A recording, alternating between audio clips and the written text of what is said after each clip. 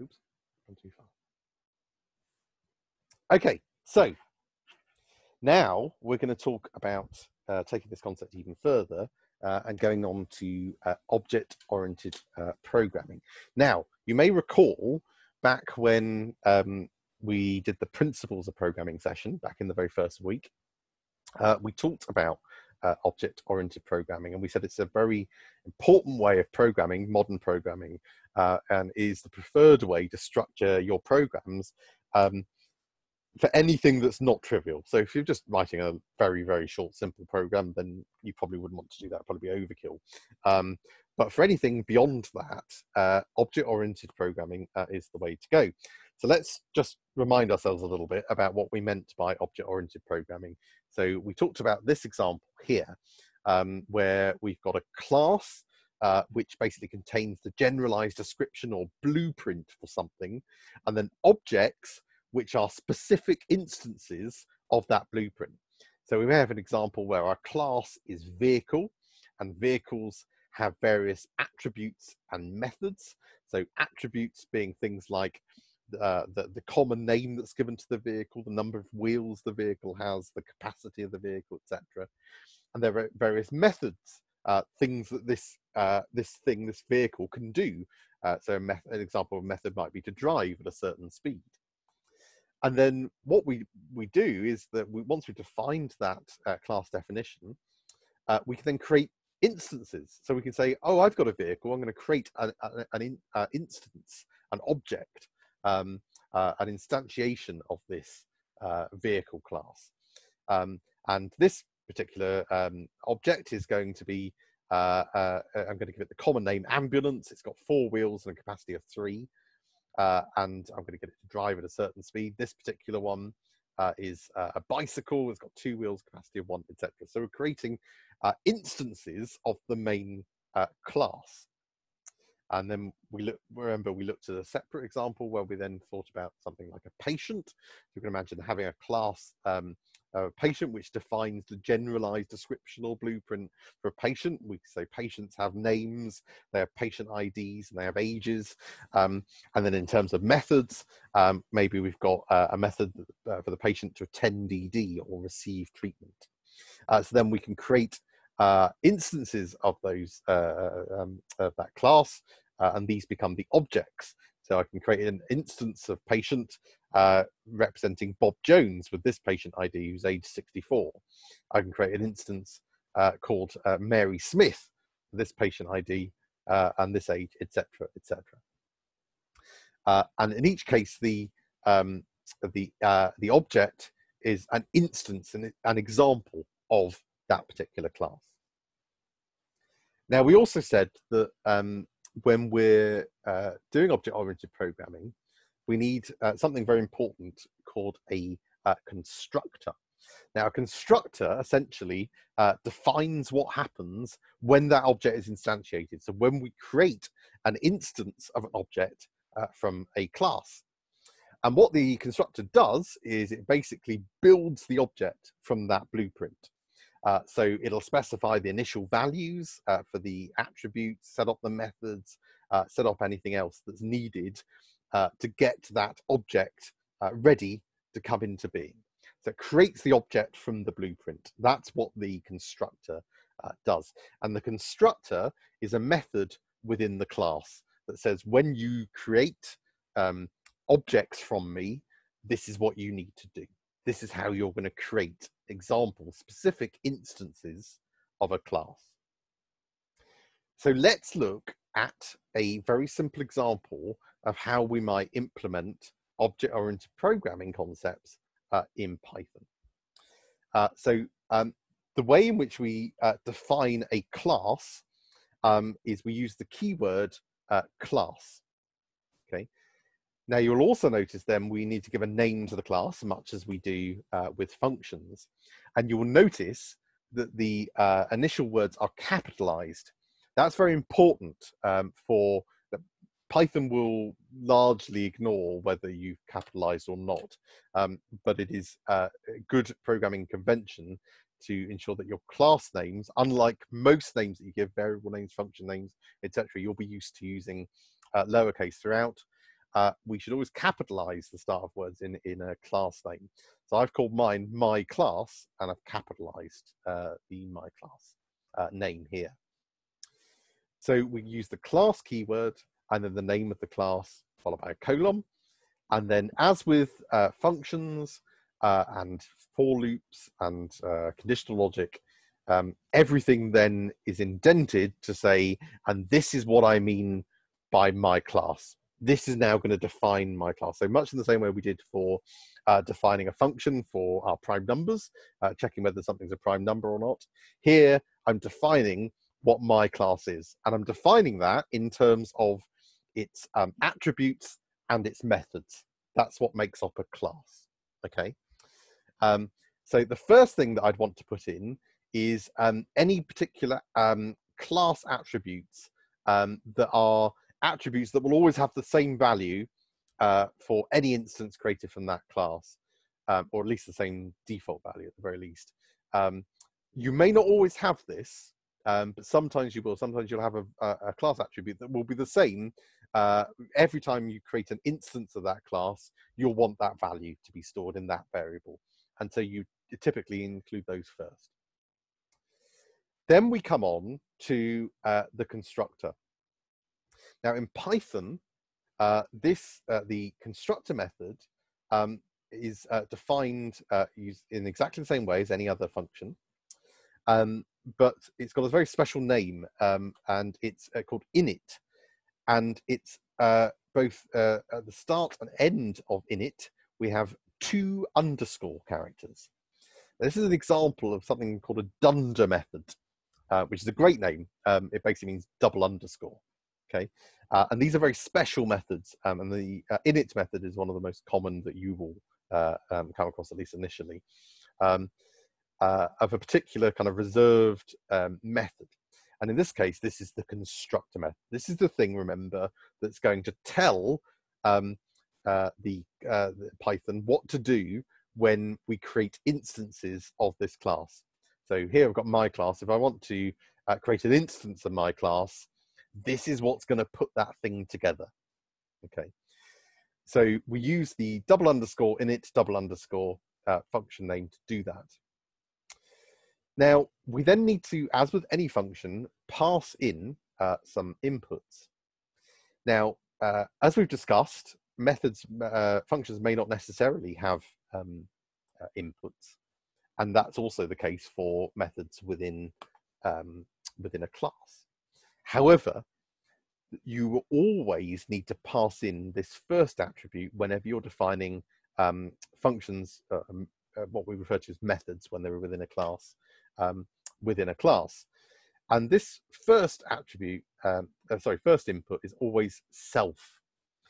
Now, self is a particular special keyword don't worry too much about it at the moment, but essentially what it does is it stores a copy of the uh, of the blueprint. It, it, essentially, it's the that stores the instance of the class. Okay, so uh, the important thing to remember is you need to include that uh, whenever you're uh, defining any methods within uh, a class. Uh, the first input should always be the keyword self, and in Spyder you'll see it'll italicize itself in this way to indicate it's a, it's a particular keyword here.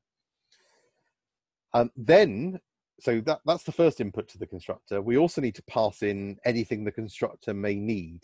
So let's say we also need to uh, pass in a couple of attributes uh, to set something up. And we'll have a look at an example of this in a minute. Um, then we would pass that in here. And in the same way you would when you're writing functions outside of a class, um, we can then do something with those things. And in this case, in the constructor, what we're typically doing is storing these values in inside the uh, the um, instance of this class. So let's say we've got our class called my class, and we want to create an instance of it. When it does that, it will call the constructor, and we let's say we need attribute and attribute one and attribute two uh, to be set up when that object is uh, created, that instance, that class. So what the constructor is doing here, uh, if I hadn't spelled that wrong, that's that up an error. Um, I've got, I should have a double T there. Um, but what that will do is it'll say, okay, attribute one that you've passed in when you've told me to create an object, I'm going to store that against attribute one of the object.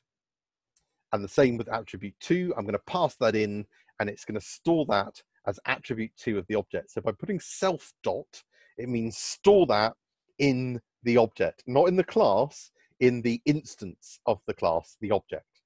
Okay. Again, we'll look at an example of how this works with a with a real example in a minute. So that's how we'd set up our attributes. We'd use the um, uh, constructor. We'd pass in anything that we need, uh, any uh, values that we need to be set up, and then the constructor will set up those values. Now, all classes must have at least a constructor, but they may also have other methods. And as with the constructor, uh, those methods must always have self as the first parameter, even if they've got nothing else. You'd have to give them at least uh, self as an input parameter. In other words, the copy of the object that you're you're creating. Um, so we may have a method here that has no other um, uh, uh, inputs um, other than self. Uh, so here we just uh, define a function exactly the same way as we did before. Uh, we give it, uh, we use the def keyword, we give it a name, we give it the inputs, which must at least be self, and then basically what we want it to do indented here. here we've got another example of another method, um, method two.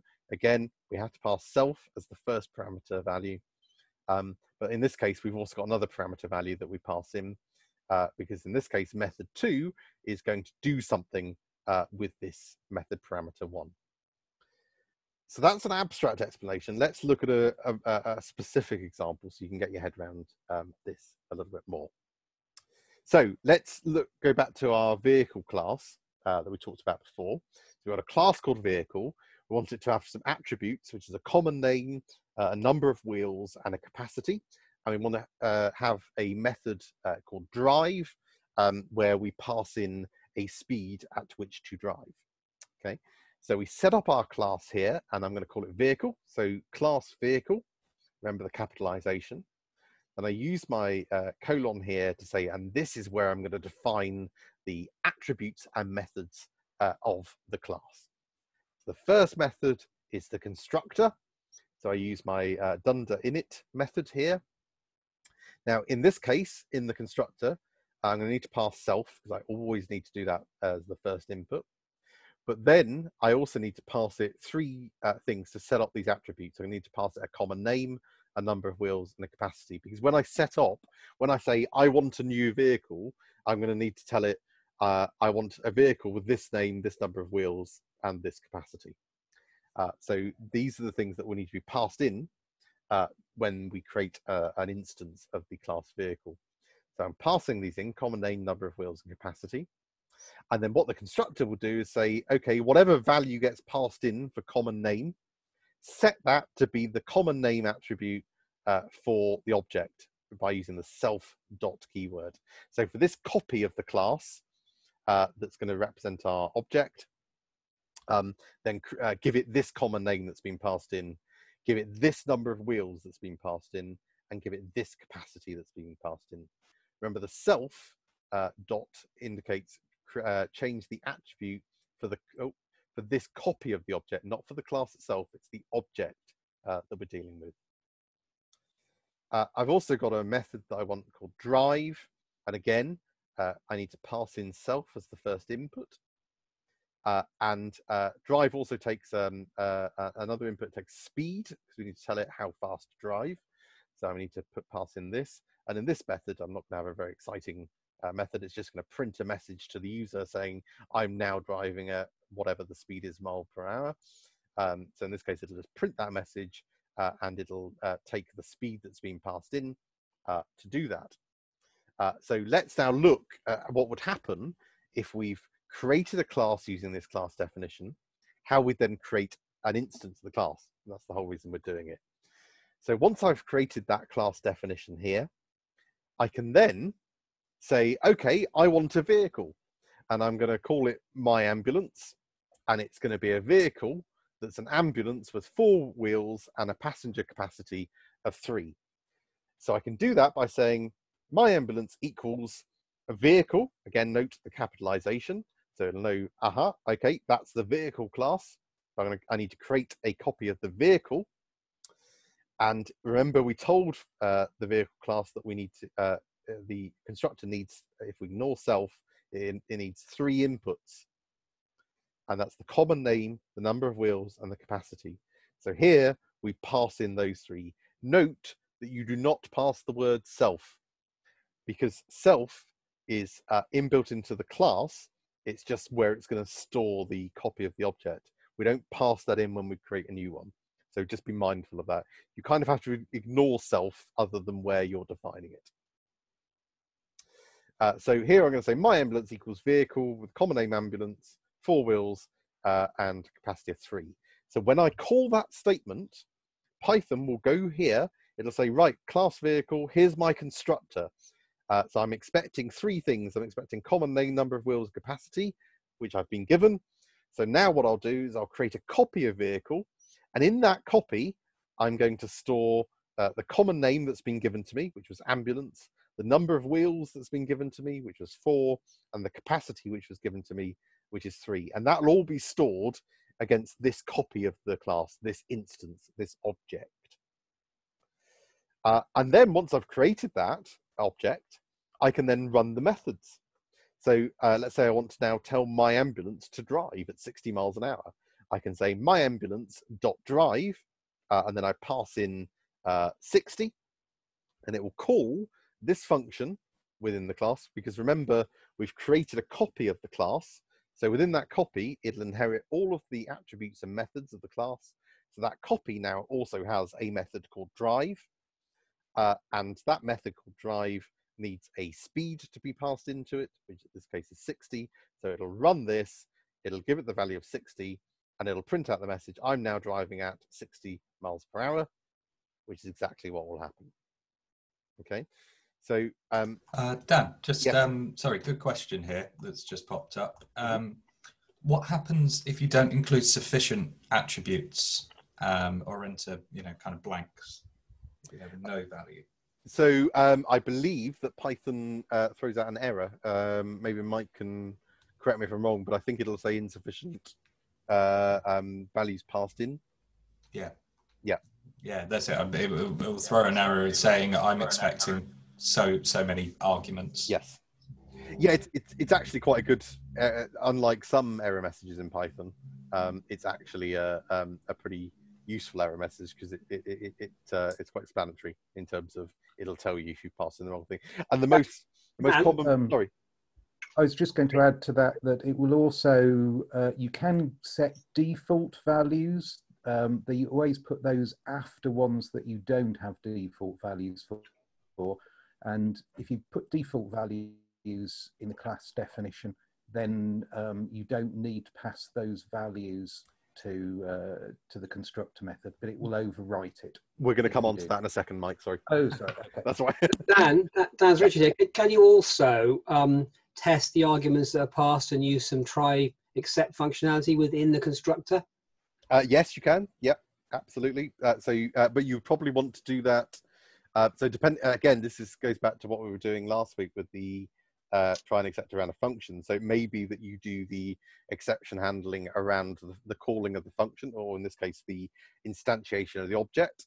Uh, it, or it might be that you've got error handling within um, the object itself. But usually, if you're if you're trying to catch an error in terms of um, you want the right number of things passed in or the right type of things passed in uh, to grab um, uh, uh, to create an instance of the object, you probably do the error handling when you call the object, um, call for the instantiation of the object, uh, rather than within the um, the object itself, because you you don't want that object. That object can't be created if um, if that's incorrect. So you you would catch it at that point because you're then probably going to need to correct that, uh, uh, or get the user to correct it, whatever it may be, uh, so that you can then correctly create a copy of that object. Does that make sense? Any other questions? Sorry. Okay. I think we're all good. Okay. Um, so we've talked about um, defining the class in terms of the uh, attributes and methods and using the constructor um, to set up the attributes uh, and give the copy of the class, the object, the values we need, uh, and also specifying the various methods that we want to give it. Uh, now, the beauty of object, the, this way of doing things, object-oriented programming, is we only need to specify the class once, but then we can create as many instances uh, of we like as we like of the, that uh, class. So I could create um, Mike's ambulance uh, as vehicle, and I pass in ambulance with four wheels and a capacity of three. I could pass in Sean's car, which will be a car with three wheels um, and uh, two uh, capacity of two. Um, sorry, Sean, I've given you a three-wheel car there. Um, I can pass in, I can create Alison's bicycle, which is a vehicle. It's got a bike and it's got two wheels and a capacity of one. And uh, I, because Tom would probably want a monster truck, I think. So I can create Tom's monster truck um, and uh, I can create that in exactly the same way. And so just through those four lines of code, I can create those four separate objects um, because in each case, it's going to go back to the definition of the class and it's going to create uh, copies of that class in the way in which we've uh, told it to. Um, now, let's say that we want to add to our vehicle class, we want to add an attribute um, called owner uh, to the vehicle class. Um, so in here, in the uh, constructor, I need to pass in an extra attribute here called owner. And then within the constructor itself, I'm going to tell it that in the copy uh, of the uh, class, i.e. the object, so in self, uh, I need to set that owner value to whatever owner value I've passed in, because that's the owner value that's going to be used when I create this particular copy uh, of the object. Um, I can then uh, refer to that uh, stored in value uh, by using the self keyword. So it may be that rather than just saying this vehicle is driving at whatever miles per hour, I want to say uh, this owner is now driving at so many miles per hour. So maybe that in my um, method, my drive method here, uh, I you I want to specify the owner. And remember, we need to use the self keyword to do that. We need to say it's the owner in the that we've got stored in the copy in the object that we've uh, that we've created. So that will grab when I create an owner, um, and let's say the owner is Mike. I create an example of this vehicle uh, whose owner is Mike. That'll be stored in that copy um, uh, of that vehicle uh, as owner equals Mike. So now when I call self.owner, uh, that method will then be run and it will pull in uh, the owner value of Mike for that particular copy uh, is driving at so many miles per hour. Okay. Um, and I can do the same outside of the function here. So maybe, so I've set up um, Mike's ambulance, Sean's car, Alison's bicycle, and Tom's monster truck. Um, and then let's say I call uh, those methods, so have them driving at um, different speeds. But I may also want to say out here, for example, that Tom's vehicle has, and then I want to grab from the object the number of wheels, for example, that the uh, that Tom's monster truck has. And so I can do that in essentially the same way. Remember, we need to grab it from the copy, not from the class itself. We need to grab it from the copy. And remember, we've called the copy uh, Tom's monster truck here. So I can say Tom's monster truck dot number of wheels, which will grab the number of wheels attribute from the copy of vehicle that's called Tom's monster truck. Okay, so then that will, um, because I've set up Tom's monster truck here, uh, and it's driving at 80 miles an hour, um, I can uh, then reference Tom's monster truck down here, um, and it will print out the number of wheels that I used uh, to set it up, which should be four wheels because that's the number of wheels I passed in when I set up Tom's monster truck. Now, just going back to uh, Mike's point, um, not all of the attributes uh, may need to be passed in uh, from externally. So we may have attributes, things about an object that have a particular default value that may either never change or may have a, more commonly, will have a default value. Uh, so whenever you create a new instance of this um, class, uh, it will always have this value to start with, and then that value may change uh, later. So in this example, here I'm creating a class uh, that represents a student. Uh, and in my constructor, uh, I have uh, three attributes that I set up. Name, whether they've completed the course, and their level. Now, in this example, it may be the only thing that I need to pass in when I set up a new student is their name, because all students will won't have completed the course when they start, so that default value will be false, and they'll always start at level one, so that default value will always be one. So in this case, the only thing I need to pass in when I create a new student is their name, and then the constructor will then set up the name based on the name I've passed in, but will then also set up these uh, these attributes here, completed course and level, just with default values. So rather than using something that's been passed in, it'll just have a default values, in this case, false for completed course and level one. So if I then create a student, uh, an instance of this class, and I can call it my student, uh, and I say it's a student, uh, I can pass in, uh, all I need to pass in is the name. So in this case, Dan Chalk, and that will set up a new instance of the student class with the name Dan Chalk with completed course equals to false and level equal to one, but I've only had to tell it my name. And you'll find that quite commonly with uh, classes that you set up. The, there'll be some things that will always have a default value. You don't want to have to keep declaring those um, things passed in all the time. Uh, you only need to pass in anything that may vary to, uh, between the copies in terms of its default value. So the name, a name is an obvious example of something that will vary depending on which instance of that class you're creating. But whether they've completed the course and their level, the those will have default values that will always be the um, set to those values uh, when you first create uh, that object. Um, also worth flagging up, and we mentioned this a bit with uh, functions as well, is that the names of the things you're passing in don't have to name uh, match the names of the attributes that you're storing in the class. So it could be, uh, for example, that we're the things we pass in are called full name, date of birth, and year. Um, also, full name, uh, DOB, and year. Um, and actually, in the um, the attributes stored against the class may well be called something different. So it may be called name within the class. Uh, and I, all it's saying here, and this indicates what it's doing a little bit more, is it's saying that full name thing that you pass into the constructor, the constructor is going to be expecting a full name when uh, I create a new instance of that object. When that gets passed in, store whatever value is in full name, i.e. the thing passed in here, into the name attribute of the object. Pass in uh, whatever value was passed in for DOB, put that into the date of birth um, attribute of the object. And similarly for year, put that into uh, the class year attribute of the object.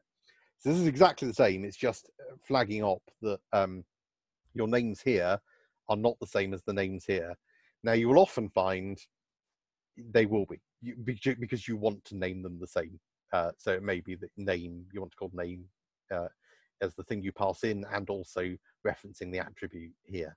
Um, but this is really just to highlight they don't have to. And what's actually happening is that you're giving something a name here, which represents the thing I'm going to pass in, and then that thing that you're going to pass in, you're saying the uh, take that value and give it to the name attribute over here, or whatever the attribute is. But these could of course have the same name. So where we had before self dot name equals name, what that's saying is the name attribute that you've passed in here, store that in the name attribute of the object, which they're two separate variables.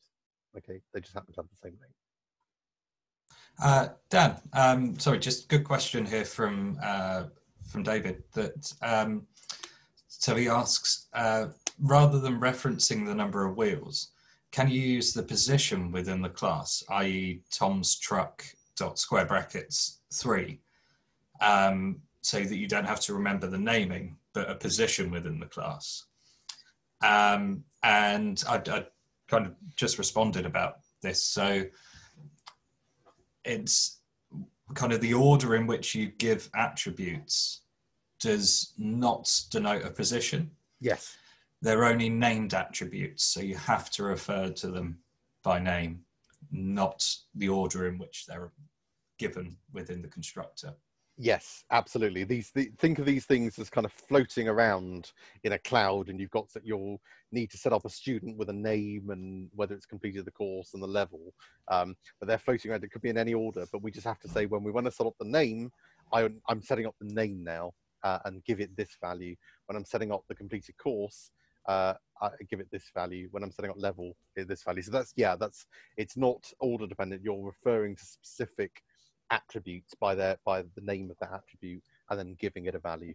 Yeah, and the, this, I suppose, you know, it's kind of this is when naming conventions comes in um, really handy yeah. because if you set up, you know, you have you use naming conventions, it's easier to remember what the names are. yes, absolutely. so using very good names here is particularly important for object-oriented programming. So, um, uh, for example, name actually is is a bad name in itself. You'll probably want to put, you know, forename or full name or surname or whatever that name is, because name is slightly ambiguous. Uh, so you want them to be specific as possible, um, so that you can refer to those things very specifically, because you're going to be setting up lots of instances. This is your blueprint. It should be really uh, sort of specific and um, uh, useful, because you're going to be using it a lot if you're going to be doing this properly. Okay. So um, I appreciate that's quite a lot uh, to take in, and object-oriented programming can uh, seem quite daunting uh, at first. So you're going to practice it now, okay? Um, I promise you this does get easier, and when you get the hang of object-oriented programming, uh, you will find it a very nice way uh, in which to program. It just requires a slight shift in the way you're thinking. So what I want you to do in this exercise, and I would, in fact, I'm going to insist that you work in, in groups for this because it is a tricky exercise. Um, I want you to write a class definition in Python for the patient class that I've outlined on this slide. So that's a, a class called patient that has four attributes. It's got a name, which is a string. It's got a patient ID, which is an integer. It's got an age, which is an integer. And it's got a, an attribute called cured, which is a Boolean, uh, where the default value is uh, false. Uh, and patients also have two methods. They have an attend ed method, uh, which um, uh, has an, one input, which is the mean time. That's the amount, average amount of time they spend in the ED. And receive treatment method, which to which we pass in the probability that they are cured. Now this uh, exercise is going to get you closer than you have before to some of the modeling stuff that you'll come on to in discrete event simulation next week and in subsequent weeks. Um, uh, starting to think in terms of that sort of object oriented way of uh, creating things around patients and patient methods. So, the attend ED method of a patient, what I want that to do is to randomly sample a time for the patient to remain in the ED and it's going to sample that from an exponential distribution based on whatever the mean time is that's passed in uh, to that method. Uh, what it will do is it will sample a time from that exponential distribution and it will print a message stating the patient's name, the patient ID, and how long uh, they were in the ED, which remember you've randomly sampled. Now, you're probably saying, hang on, Dan, you haven't told us how to uh, sample from an exponential distribution. And you're quite correct, I haven't. But what I have shown you is to how, to, how to sample from a uniform distribution. Remember when you've used um, uh, random.uniform uh, and you've opened your brackets and put zero, comma, one, and you get a, a, a you're sampling for the uniform distribution. Remember that the uniform distribution basically just says there's an equal chance of any uh, of these values being uh, selected.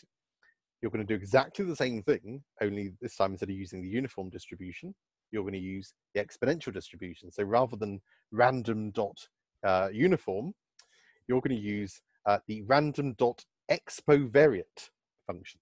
Okay, so again, it's within the random library, but instead of random dot uniform, you're going to use expovariate. That will uh, allow you to sample from an exponential distribution. And that function takes one parameter value. And that one parameter value you have to specify is something called lambda. Now, don't worry too much about that because all lambda is, is the inverse of the mean.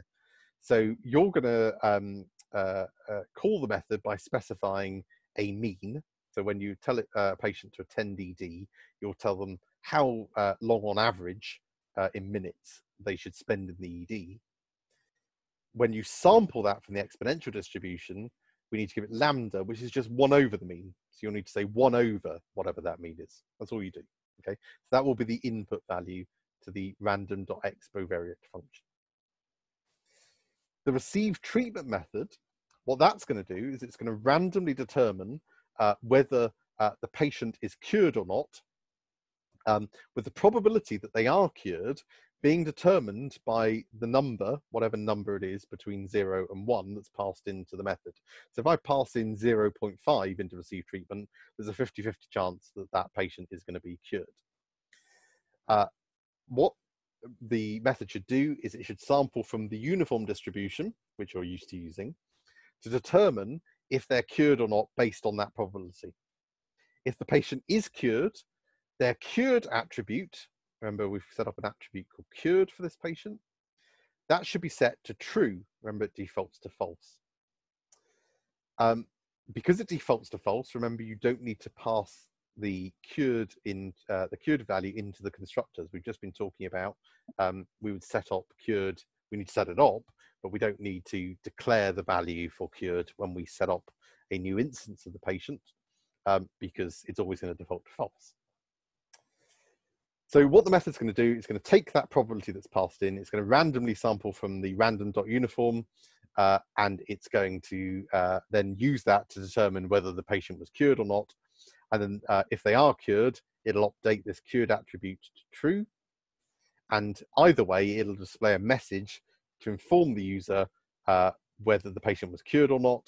And it'll give their patient details, including the name, patient ID, and the probability with which uh, they were cured. So it'll you'll want a message something like um, Dan was cured with a 0.7 percent, uh, sorry, uh, with a 70 percent probability or 0.7 probability. Mike was not cured. Sorry, Mike, uh, with a, a 0.3 probability or something like that. Okay. Once you've defined this class in terms of the uh, the constructor to set up these attributes and the two methods, attend ED and receive treatment, which are described here. Uh, I then want you to create some instances of the patient class and call the attend ED and receive treatment methods of those instances to see what happens. Now you can either do that in the program itself, or you can run the program where your program just just defines the class, and then interactively in your in your uh, Python console, uh, you can then just uh, call uh, create instances of those um, uh, of that, that class, uh, and then call the methods in that way. You can do it whatever way you uh, you prefer. Uh, so remember, you'll need these two uh, um, functions: random.expovariate, which takes in lambda, which is just one over the mean, and random.uniform, which you're a bit more used to using, which samples from a uniform distribution. So an exponential distribution here, and a uniform distribution here. Now, um, I'm conscious I haven't given you a comfort break yet either. Uh, so I'm going to suggest that you take uh, five or 10 minutes now uh, to stretch your legs uh, and have a little think. Uh, and then I want you to work in groups because this, this is a tricky exercise, okay? This isn't simple. Um, it will be, hopefully, for you in weeks to come where you're used to doing this. Um, but uh, for your first attempt at object-oriented programming, it's going to be a bit tricky. So work in groups, do this together, and we're going to come back at quarter past 12, okay? Uh, we will drop into your chats as well if you need any help. Um, and then do shout, and we'll nudge you in the right direction. Um, but I'm going to give you 45 minutes from half past 11, so you've got a chance to stretch your legs and make a cup of tea or whatever as well. We'll, we'll come back here at quarter past 12. Any questions about this probably quite onerous looking exercise? Good. All stunned into silence. That probably means fantastic. Have a uh, have a have a quick break uh, stretch your legs, and then have a go at this in your groups. Um, I say we, will be floating around to help, uh, and just break this down. Remember, set up your class uh, definition, set up your constructor, and set up your methods, and just break that down. Okay. Right. I will see you at quarter past twelve.